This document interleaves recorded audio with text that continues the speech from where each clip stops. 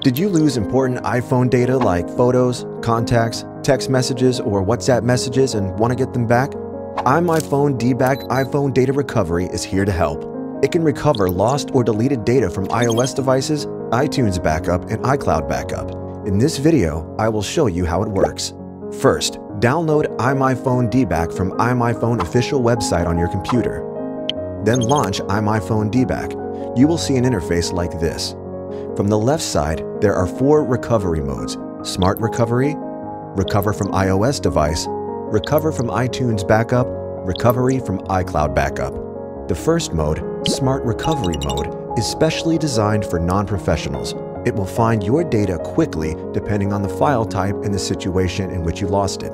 The second mode, Recover from iOS Device mode, will scan your iOS device deeply to find the lost data. You will need to connect your iOS device to the computer during this process, and it is suitable for people who have lost or deleted the iOS data without making any backup. Actually, when you backup data using iTunes or iCloud, it saves not only the existing data, but also some deleted data on your iOS device. It's just not accessible by default. The third and the fourth mode, Recover from iTunes Backup and Recover from iCloud Backup, are designed to extract the existing data and the hidden data from your backup files.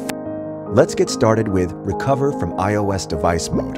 From this tab, click the button Start. Then, select the data types you want to recover.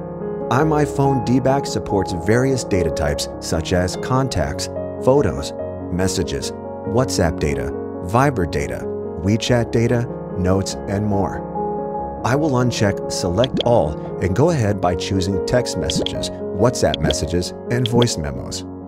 Next, you will need to connect your iPhone to the computer. Once it is connected, click the Scan button to allow D-Back to scan your device and search for the lost data. Once the scan is finished, you can preview all recoverable data from the screen. Select the data you want to recover and click the Recover button, then select the location. All the chosen data will be saved onto your computer in a while. That's a quick overview for how to recover data from iOS devices using D-Back you can also try the other three modes with similar steps. Thanks for watching. I hope you enjoyed this video. Don't forget to download the free trial of iMyFone D-Back to get started now.